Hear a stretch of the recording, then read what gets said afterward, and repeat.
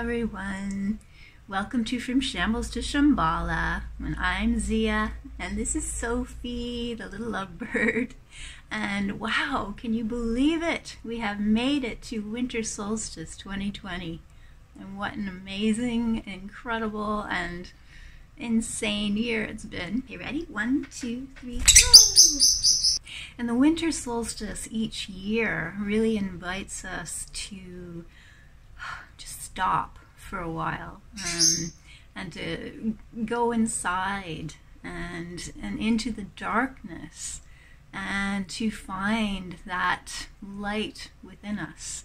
Because each and every one of us really has our own sun inside of us. And that is our own unique connection to source and every year at this time, we're invited to go in and reconnect with that, to find that within ourselves when we can't see the light in the outer world, and to realize and remember our own inner strength, our own resources within, and our own inner power.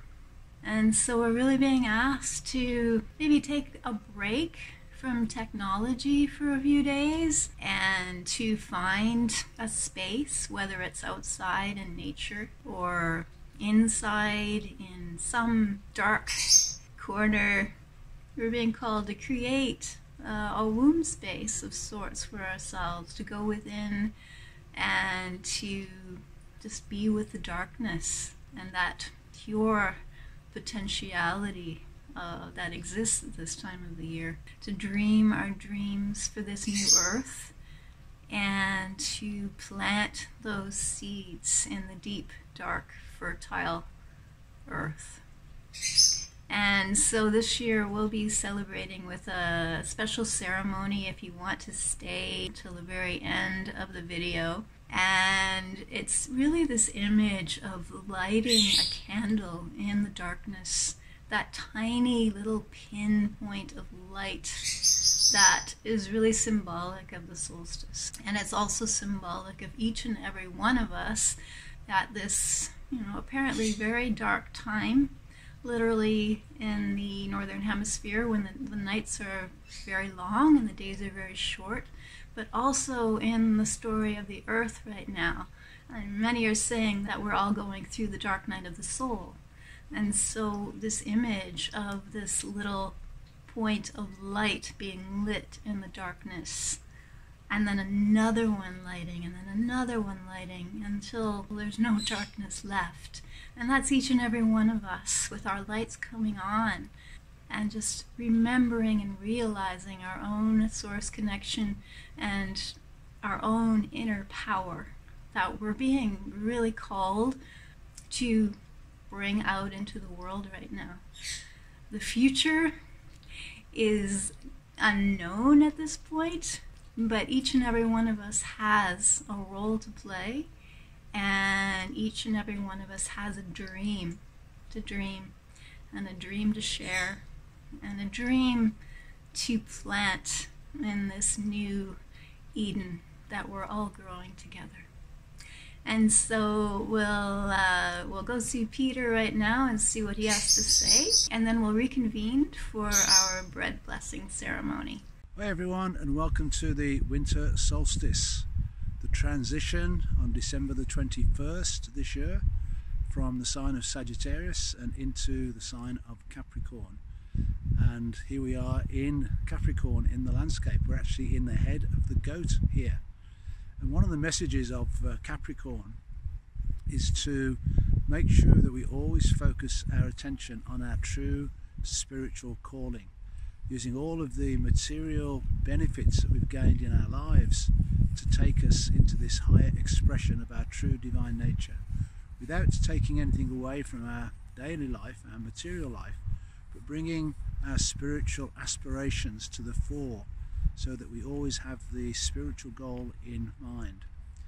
And that uh, is best symbolized in a way through the symbol of the goat's two horns of Capricorn, one horn being the material, one horn being the spiritual, and integrating them and merging them together into the unicorn.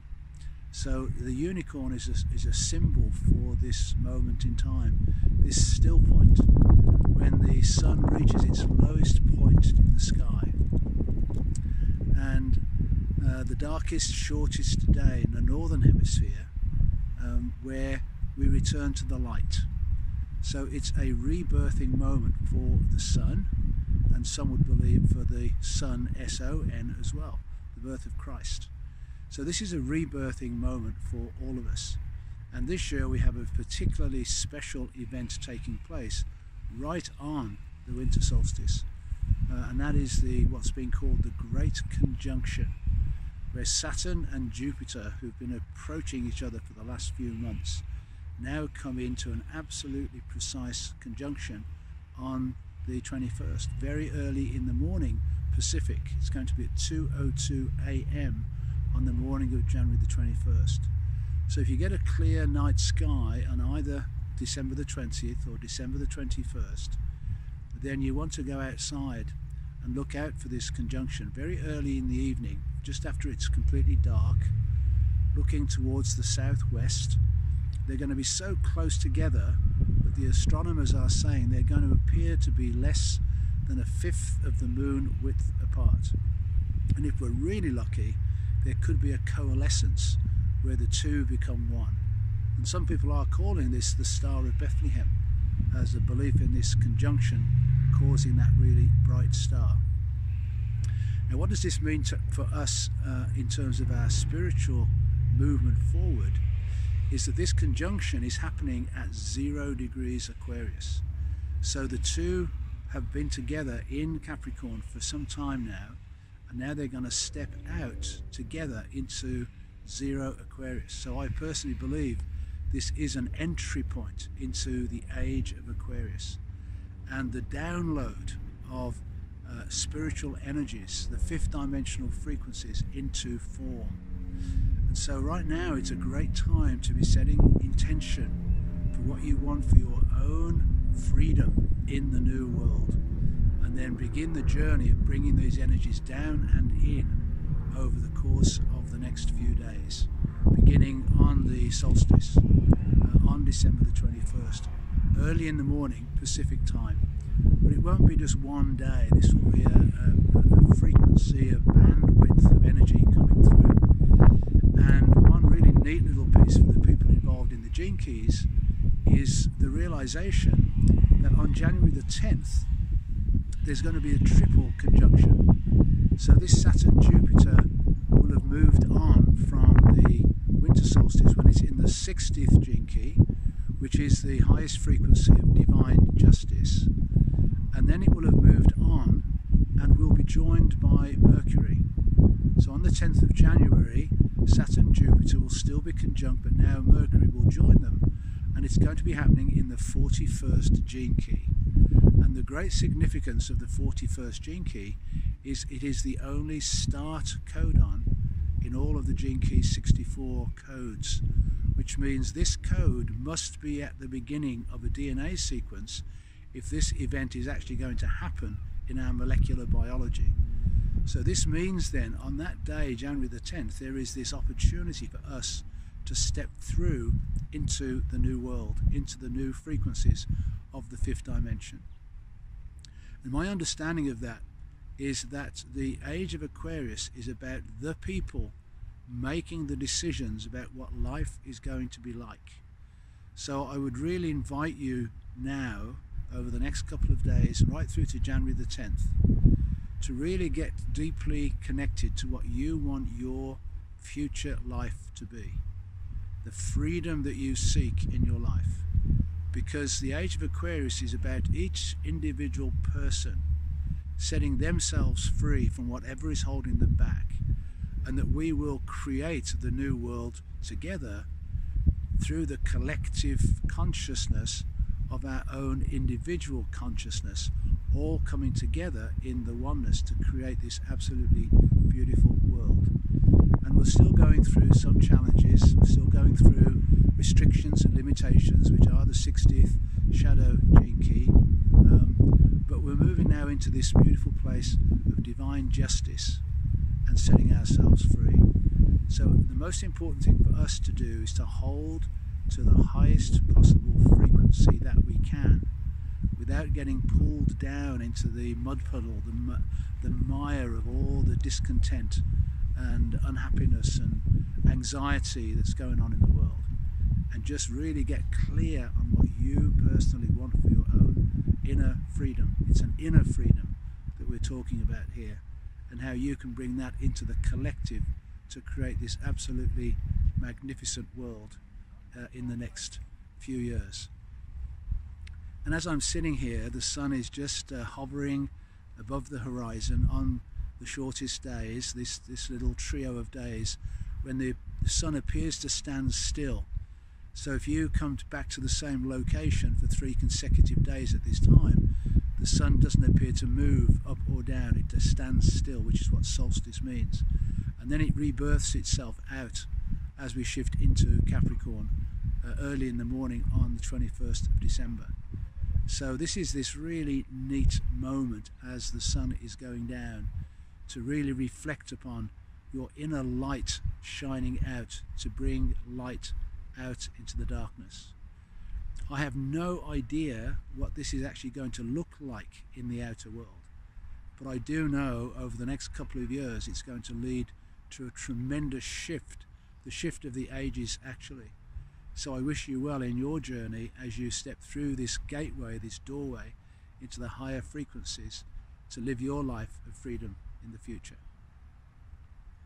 I would like to invite everyone, if you haven't already, if you feel called, you can do your own ceremony or just connect in in your own way to the still point, into the silence, and into that deep peace that is so prevalent at this time of the year.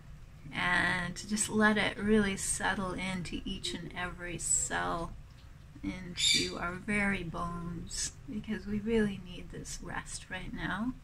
We really need to be gentle with ourselves. We need to really nurture and nourish ourselves and yeah, just to rest. It's been an incredibly intense year and we need to keep up our strength. And so, one wonderful way to fortify ourselves and nourish ourselves is to do um, ceremony. And and for this particular occasion, um, you've been called to do a bread blessing ceremony. And a bread blessing ceremony is oh, Sophie, come here, you. it's a variation of the despacho ceremony. Um, despacho ceremony comes to us from South America, uh, from the indigenous peoples of the Andes, and there are basically three parts, three layers um, that we'll be working with. And the first is the loaf of bread and we're working with completely organic, natural materials, things that will just very easily uh, break down, biodegrade, and can be easily digested by Pachamama. We start with the base of the bread, and it holds everything else. And it represents the, the lower world. It is the base, it's the foundation, and it holds everything else. And in our energy centers of the body, it represents the belly, and the belly is the source of creation and creativity. And then to that, we add flowers. And we'll be adding two different colors red and white daisies. Sophie's just going nuts out there. The red flowers represent Pachamama, the divine feminine, and the white flowers represent Inti Taita, Father Sun, and the divine masculine, and bringing those two elements into balance within ourselves. And the flowers, this middle layer represents the middle world, and that's the world that we live in, and it is kind of a combination of the lower world and the upper world. It's where the two converge. And that second layer, that middle layer, represents also our second energy center, which is the heart. And then the, the top layer, the third layer, represents the upper world, the heavens, and the energy center is the crown, the the pineal, the third eye, and for that we have sprinkles. We have these beautiful candied sprinkles, all different shapes and sizes and colors. There's rainbow colors, there's stars, there's hearts, cacao, and spices, and all kinds of mm, yummy stuff that we add to the top. And in the middle, in the center, is our candle. It's a beeswax candle, completely natural. And we also add a stick of incense, copal um, incense, and that just represents the upper world and also the ether. And then once the bundle has been created, we will take it to the ocean and dispatch it into the ocean as uh, as a love bundle for Mother Earth. And when we add each of the elements to our bundle, we we put our prayers, our blessings, and plant our seeds, our dreams in the bundle. We light our candle in the dark, and then we just let it go into the dark night, and and then we just rest. We rest in that still point, and we just know and trust we are being held we are being held right now so lovingly, so gently by our own selves, by our own higher selves who are here and completely supporting us through this process. And the more that we're able to rest and care for ourselves and nourish these bodies, um, the more of our higher selves can actually come in to embody this body and live the life that we came here to live. And so, with that, with all the love in our heart, we'll go into this ceremony and just one sec. and so, with all the love in our hearts, we'll go into this ceremony. And we love you so much. And so many blessings to you at this time as we go into the new year of 2021. And we'll see you again next month and next year. Much love to you all.